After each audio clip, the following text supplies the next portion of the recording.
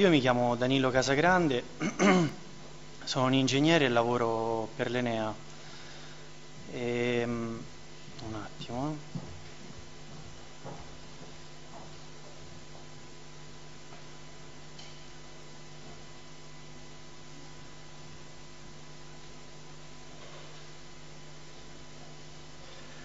E, oltre ad essere diciamo, la professione,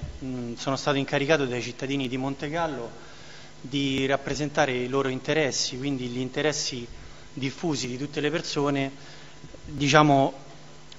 in una fase che è eh, molto critica, soprattutto per i territori che noi popoliamo. E, um, il comune di Montegallo è, il comune adiacente al confinante con uh, il comune di Arquata del Tronto è un comune piccolissimo, ma si trova molto vicino alla faglia eh, che attraversa il Monte Vettore. Noi siamo i dirimpettai di Castelluccio di Norcia, cioè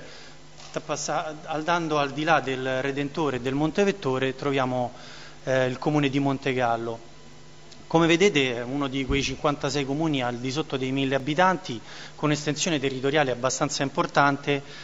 e che presenta un livello di danneggiamento eh, piuttosto diffuso ed importante, localizzato soprattutto nelle frazioni che sono proprio al di sotto del Monte Vettore, mentre quelle più lontane se la sono cavata un po' meglio. Negli interventi di oggi ho, cioè, ho, sentito tante persone parlare di territori abbastanza disabitati, eh, con tante seconde case, usufruiti da persone, diciamo il turismo quello, non dico mordi e fuggi, ma gente che ritorna nel fine settimana piuttosto che ad agosto per stare in questi posti per brevi periodi e prendere da questi posti ciò che c'è di bello, ma ritornare nella città a prendere tutto il resto, quindi mettere sulla bilancia dei valori,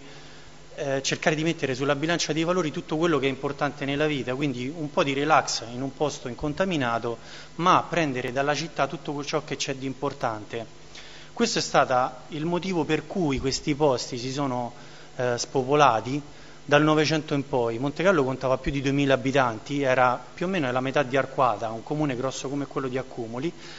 e contava più di 2000 abitanti dal, dopo, dalla prima guerra mondiale, dopo la seconda guerra mondiale siamo arrivati a questi numeri. E costantemente c'è un decremento costante della popolazione, d'inverno arriviamo a cifre abbastanza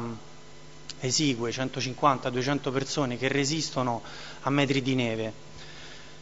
In realtà questo territorio, ho messo una foto, una slide della, dopo il 24 agosto per far capire come è messo il comune e come diciamo dislocata la faglia che ha generato, eh, è segnalato l'epicentro nel comune di Accumuli del sisma del 24, ma quella più in generale è la porzione di faglia che si è, che si è mossa.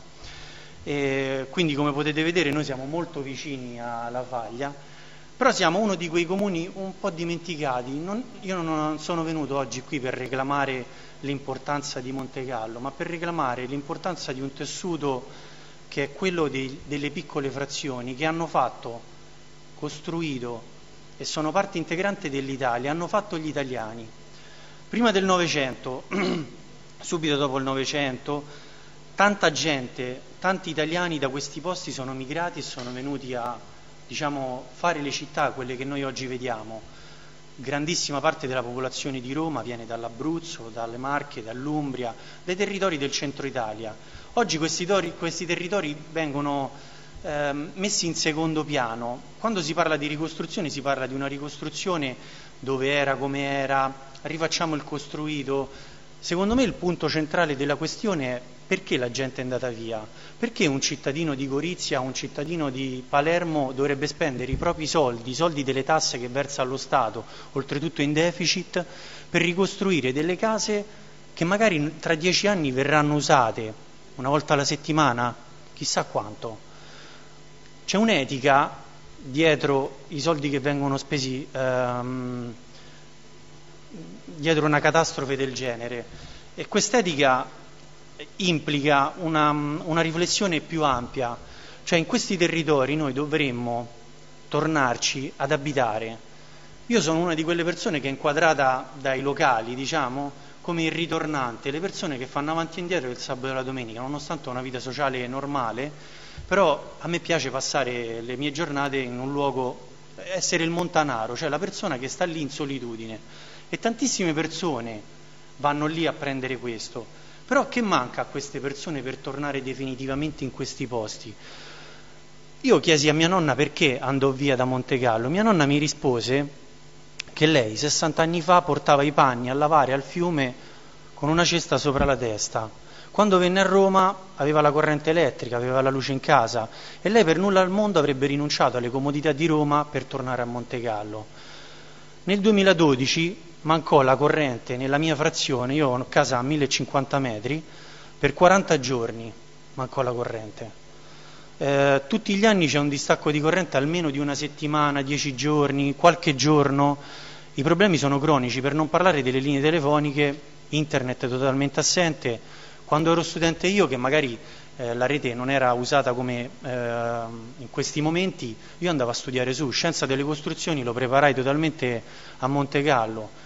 Oggi uno studente non potrebbe mai pensare di passare la giornata ad Arquata del Tronto, una settimana, due settimane per studiare perché non ha la rete internet. Sono cose banali,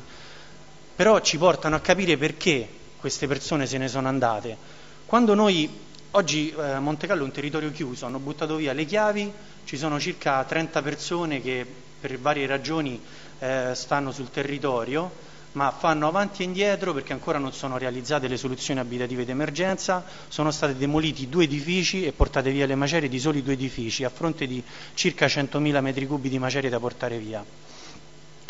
E a tutt'oggi ehm, nessuno mette in campo le risposte per far tornare le persone in questi luoghi.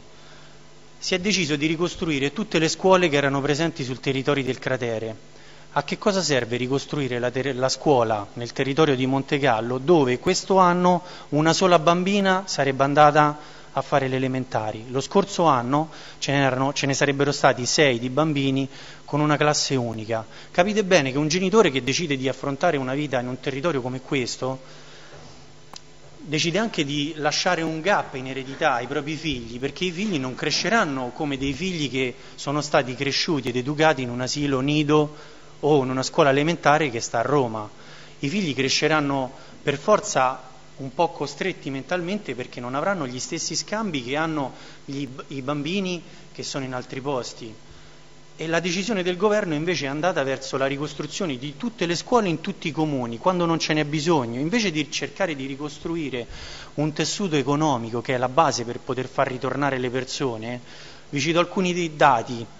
Eh, Castelluccio di Norcia fa circa tra le 35.000 e le 40.000 presenze nei giorni festivi nel periodo della fioritura. Gran parte di queste persone passano per Montegallo per andare a Castelluccio perché ci sono due, due strade di accesso, la Val Fluvione e da Castelluccio, da, da Visso, da Castel Sant'Angelo sul Nero oppure da Norcia. Però diciamo c'è il versante umbro e il versante marchigiano devono passare da noi. Eh, Montegallo la settimana di agosto fa circa 8.000 abitanti, non si riesce a catturare piccole frazioni di queste persone che potrebbero tornare a vivere in questi posti in modo stabile. Perché non c'è una politica di programmazione, non c'è una visione a lungo termine di quello che è eh, le problematiche che hanno portato a, all'allontanamento delle persone. Questa è una foto scattata il 30 ottobre, la mattina appena subito dopo la scossa, diciamo, qualche minuto dopo ancora ci sono le nuvole di fumo, questa sta a 1200 metri, eh, che si alzano dalle frazioni circostanti. Il mio comitato prende il nome dalla chiesa che è rimasta distrutta dopo gli eventi sismici, dopo i tre eventi sismici, perché nessuno in questo periodo di tempo ha pensato di eh, puntellare la chiesa la chiesa aveva, è la più importante chiesa di tutta la provincia d'Ascoli perché è la più vecchia, del IX secolo d.C. Dopo il 24, questa è prima del 24 agosto, dopo il 24 agosto, dopo il 26 ottobre, dopo il 30 ottobre. In due mesi di tempo nessuno ha pensato a puntellare la Chiesa e questo è lo stato in cui versa tutto il comune. La mia non è una critica volta alle istituzioni. Io ogni volta che faccio un intervento cerco di parlare, cerco solamente di far butta, gettare il cuore oltre l'ostacolo e di far capire che pro- o affrontiamo il problema in un altro modo oppure non ci sarà modo di risolverlo perché il terremoto da noi era in atto da tantissimo tempo, era il terremoto più brutto, la, che era quello che portava via le persone ad abbandonare un territorio. La mia famiglia ha 450 anni. Io ho i passaporti dello Stato della Chiesa, dei fogli, delle pergamene così, dei miei avi, che permettevano il passaggio dallo Stato della Chiesa nei vari periodi insomma, in cui cambiavano i confini e la mia famiglia ha abbandonato questi luoghi, ma per evidenti esigenze, e tutti quanti, chi prima, chi dopo, stanno lasciando questi posti. Se prima la battaglia era persa, perché è chiaro che era un processo irreversibile, dove nessuno poteva porre eh, un, poteva invertire la rotta, adesso c'è la possibilità di, inter- di invertire la rotta, perché questi posti eh, hanno la ricchezza nei posti stessi, eh, non è non è finito niente di quello che è la bellezza del posto, di quello che attrae le persone, sta tutto ancora lì. Per cui quello che io, la spinta che vorrei dare a voi come comitato tecnico scientifico, mi sarebbe piaciuto che ci fosse stato qualche rappresentante delle istituzioni, è quello di guardare il problema in un modo un po' più ampio, investire i comuni di responsabilità così grandi. Noi abbiamo un sindaco eletto con 273 voti, se non ricordo male, io nel mio comitato ho circa 400 iscritti, proprietari di case, nell'altro l'abbiamo diviso nella vallata e nella parte alta, nell'altro comitato ci sono circa 300 iscritti, andiamo d'accordissimo, insieme facciamo 700 potenziali elettori, siamo più rappresentativi noi piuttosto che il sindaco, ma non è un problema di cariche, di chi decide cosa, è un problema di competenze. Se il sindaco è stato eletto per una situazione che riguardava l'ordinario, la gestione di un territorio che era abbastanza semplice, come si può investire di responsabilità così ampie un sindaco che non ha la forza, la possibilità, benché ce la possa mettere tutta, di arrivare a coprire tutte quelle che sono le responsabilità che la legge e il legislatore diciamo, mette eh, sul suo capo. Anche se l'ufficio speciale per la ricostruzione svolge un compito molto importante perché posso testimoniare che è abbastanza presente sul territorio, posso anche testimoniare che la scelta che fu fatta dal gruppo tecnico, dal GTS, il gruppo tecnico di supporto, per la mia frazione mi ha riguardato 10 frazioni e la mia frazione è la più disastrata eh, di, tutto il, di tutto il comune, è stata questa, la mattina del 10 luglio, ultimo giorno disponibile per fare le relazioni finali del GTS, sono venuti in un quarto d'ora, un un componente dei Vigili del Fuoco, uno della Sovrintendenza, uno della Regione Marche e uno dell'Ufficio della Ricostruzione hanno deciso che cosa si farà di le frazioni, 10 frazioni. Sono state valutate la mattina del 10 luglio tutte e 10 con la fretta di sbrigarsi per andare a mangiare. Casa mia che ha, è in L4, quindi è una casa che certamente verrà abbattuta, è stata valutata dalla sovrintendenza come importante a livello storico e lui ha deciso di conservarla, quindi verrà fatto un intervento di recupero su una casa che ha perso le due pareti più lunghe, più un angolo, e diciamo a dire che è tutta spaccata è poco, sta in piedi perché lasciato, è stata ristrutturata nel 2009,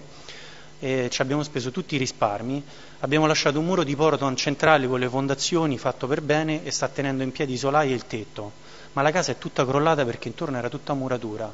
Hanno deciso di tenere in piedi non so cosa,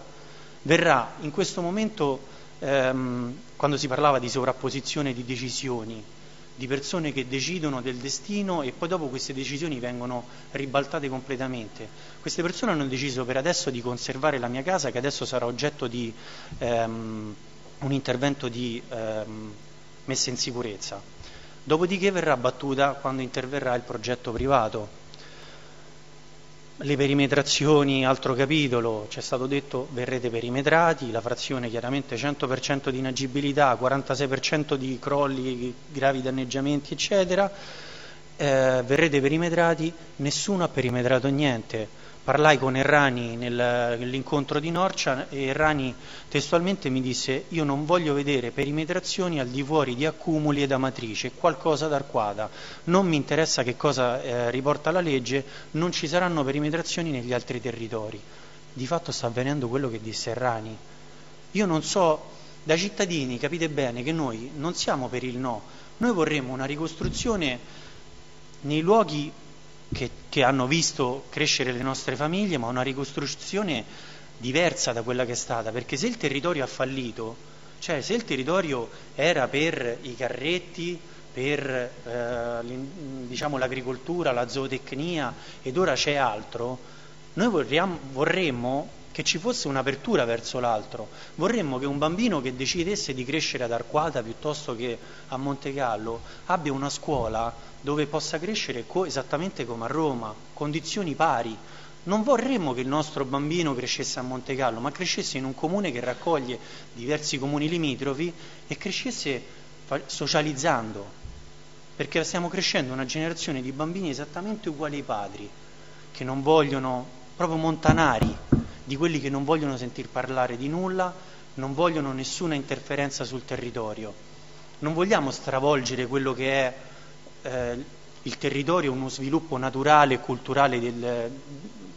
piuttosto che una vocazione naturale. Però se ha fallito, perché ha fallito ed è accertato che ha fallito un territorio intero che riguarda il centro Italia, l'Appennino in generale, forse sarebbe bene conservare ciò che c'è di bello e dirigersi verso una ricostruzione che sia più utile a far tornare le persone in questi posti. Capiamo bene che non è facile, ma vorremmo anche che si facesse un salto mentale verso questo. Questa è una foto emblematica, vabbè io sono molto affezionato a, a questi posti dove passo le giornate e voglio raccontare solo un aneddoto. Non c'era il terremoto, eravamo in un periodo di pace. Su questo prato che si trova sopra quella chiesa che avete visto prima, qui siamo quasi a 1300 metri, in un giorno d'agosto, era il 17 agosto, sono salito con la bicicletta, verso le tre e mezza del pomeriggio c'erano un mare di persone che passeggiavano in questo posto a fare trekking mi sono buttato a capofitto verso il capoluogo del paese e c'erano 5 o 6 persone che stavano al bar. C'era più gente a 1300 metri che nella frazione dove ci sono i bar, il centro urbano e lo sviluppo della vita, diciamo. Questo per dirvi che la ricchezza è intrinseca in questi luoghi, basta veramente apportare piccoli correttivi per poter far rivivere questi posti. Mi permetto di portare una proposta di legge che abbiamo diciamo, messo a punto insieme al Club Alpino Italiano, che è il promotore della proposta, e che è stata accolta anche dal Parco Nazionale dei Monti Sibillini e dal Parco Nazionale dei Monti della Laga. Qui l'ho riportata brevemente, ehm, facciamo un caso ipotetico di un signor eh, Rossi che ha un edificio di 300 metri quadri a Montegallo Stabilendo un costo parimetrico per la ricostruzione di questo immobile di 1000 euro, possono essere 2000, insomma un costo parimetrico che è 1000, lo Stato su questo edificio impegnerà 300.000 euro. Se questo signor Rossi ha dei figli, uno in Venezuela, uno in Belgio, piuttosto che a Roma, ai quali non interessa assolutamente ritornare in questo posto, eh, consci del fatto che ci ritorneranno magari tra dieci anni, e non ci sono mai andati neanche prima, e ci, vi assicuro che ci sono tantissimi casi come questo, lo Stato mette lì una proposta e dice, caro signor Rossi, eh, lei, se lei vuo, vuole può aderire a questa proposta. Noi eh, diciamo, rileviamo parte della sua cubatura, due terzi della cubatura, alla metà del valore stabilito. Dei 1000 euro le diamo 500 euro a metro quadro. Quindi io le ricostruisco 100 metri a 1000 euro e spendo 100.000 euro. I 200 metri che rilevo glieli indennizzo con 100.000 euro. Quindi il signor Rossi si ritrova con una casa di 100 metri, più facile da riscaldare, più vivibile, magari perché sono rimasti lui e la moglie, e in tasca 100.000 euro. Con i 200 metri eh, quadri di cubatura che lo Stato ha acquisito, che, che fa il Comune? Decide di destinarlo a eh, spazi urbani, piazzette, aumento delle distanze tra le case, diminuzione delle altezze, ehm, eh, vie di fuga, qualunque cosa sia utile e necessaria alla frazione o al borgo in questione.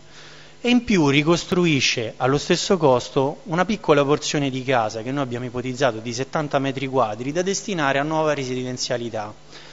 La somma, come vedete, è presto fatta porta dallo Stato ad una spesa di 270.000 euro con un risparmio di 30.000 euro, fa contenti due individui, ma io direi tre perché anche il soggetto, il comune è contento, perché il comune acquisisce patrimonio che può destinare a persone che vengono a vivere in questi posti gratuitamente. Ci sono tante persone dell'est europeo che vivono di pastorizia e che stanno abitando tuttora i luoghi dei terremoti. La prima facemmo una cena ad accumuli per beneficenza.